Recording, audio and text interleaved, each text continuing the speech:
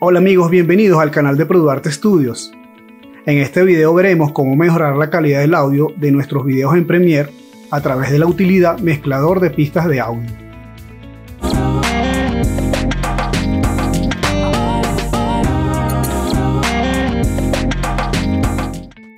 Antes de comenzar, recuerda darle me gusta, suscribirte al canal y activar las notificaciones.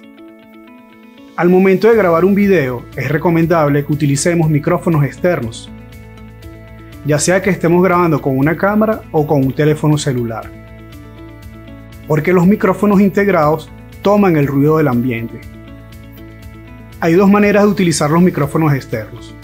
La primera es conectando el micrófono directamente a la cámara o al teléfono celular, y la otra es conectando el micrófono a una interfaz de audio y de esa manera se graba en forma paralela el video y el audio. En esta primera parte veremos el procedimiento conectando el micrófono directamente. Podemos utilizar un micrófono de solapa, también conocido como micrófono de balita, o podemos utilizar un micrófono tipo boom como este que estamos usando aquí, que normalmente se utiliza a una cuarta de distancia. Esos dos tipos de micrófonos los podemos conectar directamente a la cámara o al teléfono. En el caso del micrófono boom debemos seleccionar el tipo de polaridad con el que vamos a grabar. Podemos grabar de cerca, podemos seleccionar un tipo de polaridad cuando vamos a grabar de cerca o podemos cambiar la polaridad si vamos a grabar de manera grupal o queremos que tome varias personas, que ese micrófono recoge el audio de varias personas. Después de grabar el video y descargar los archivos en nuestro equipo, creamos un proyecto en Premiere y una secuencia con la resolución con la que necesitemos hacer el video. En la parte superior del video se encuentra el enlace del tutorial anterior donde explicamos cómo crear el proyecto y crear una secuencia. Ya estando dentro del Premiere vamos a utilizar una de las tomas que grabamos para hacer el intro del tutorial. Fíjense que aquí tenemos en la línea de tiempo, tenemos dos canales de video y un canal de audio. Si nos dirigimos al inicio de la línea de tiempo y presionamos la barra espaciadora, reproducimos el video. Ok. Lo que queremos hacer es mejorar el audio o controlar el audio con una serie de efectos que dispone Premiere dentro de la sección de audio. Dentro de la interfase de Premiere podemos ver que en la parte superior tenemos varias modalidades para trabajar. Actualmente estamos en la modalidad de edición y nos vamos a cambiar al modo de audio. Entonces, fíjense que aquí tenemos un mezclador que dentro de Premiere se llama mezclador de pista de audio. Fíjense que en nuestra línea de tiempo tenemos tres canales de video y cuatro canales de audio más el canal del original, que es el canal del master. Entonces, cuando seleccionamos el video que hemos grabado previamente, él ya viene en dos partes. Está acoplado con el audio que grabó el micrófono externo que conectamos a la cámara. Entonces, dentro del mezclador, él nos va a permitir incluir una serie de efectos para mejorar la calidad del audio dentro del mismo Premiere. Fíjense que nosotros podemos, el canal donde tenemos el audio de la locución se llama Audio 1, pero él en el mezclador nos permite editar los nombres de esos canales. Vamos a suponer que queremos poner voz. Podemos identificar cada uno de esos canales de audio para tener un mayor control. Y podemos abrir un bastidor de efectos. Ese bastidor de efectos del Premiere nos permite incluir cinco filtros o cinco plugins para mejorar el audio. Y aquí podemos hacer envíos. El manejo de los envíos es un manejo más avanzado del audio que podemos ver en una segunda parte. También en la segunda parte vamos a ver cómo manejar el audio enlazando con la aplicación Audition, que es otra aplicación de la suite de Adobe. Pero aquí vamos a ver cómo mejorar el audio con cinco filtros que vamos a utilizar. El primer efecto que vamos a incluir entre esos cinco que podemos agregar dentro del Premiere va a ser el de reducción de ruido. Entonces en reducción de ruido y restauración vamos a incluir eliminar ruido.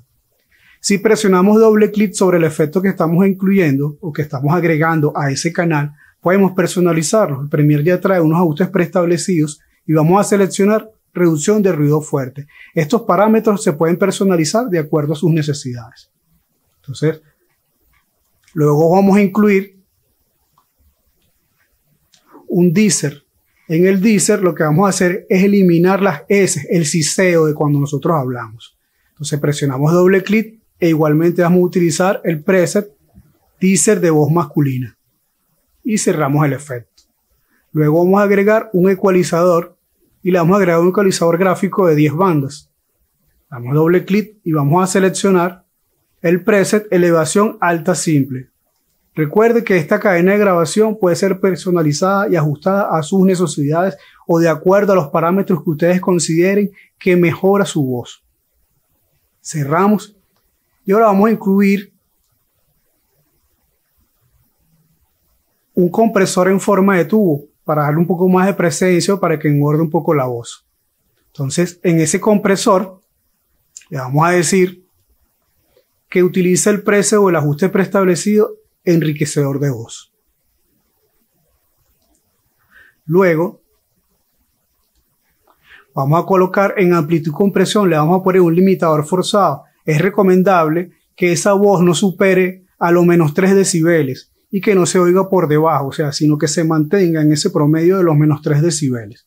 Entonces, en el limitador forzado, presionamos doble clic y también vamos a buscar los ajustes preestablecidos tenemos la posibilidad de poner automáticamente, limitar a, a menos un decibel o a menos 3 decibeles. Pero fíjense que cuando lo ponemos a menos 3 decibeles directamente, vamos a cerrar ese preset o ese ajuste y le damos a dar la barra espaciadora para escuchar cómo se oye la voz o para apreciar cómo se oye la voz después de estos efectos que le hemos incluido a ese canal de audio. Podemos utilizar un micrófono de solapa también. Fíjense que podemos observar cómo podemos observar cómo sube el indicador de los decibeles. Podemos utilizar un micrófono Entonces, de solapa, también pero ahí baja bastante. Entonces, un micrófono de solapa, lo que podemos hacer es darle doble clic al limitador forzado. En algunos casos lo, lo hago así, le digo limitador forzado y le pongo fuerte para que no baje tanto. Y él aquí en la amplificación de entrada le coloca 15 decibeles, pero 15 decibeles es muy alto. Entonces, Vamos, vamos a llevarlo a 9. Llevamos el lector al inicio de la línea de tiempo. Podemos utilizar un micrófono ¿Eh? de solapa, también conocido. Entonces ahí no baja tanto. Entonces nos los mantiene en menos 3 decibeles. Esos son los parámetros que uno puede incluir dentro del Premiere para mejorar la calidad de nuestro audio.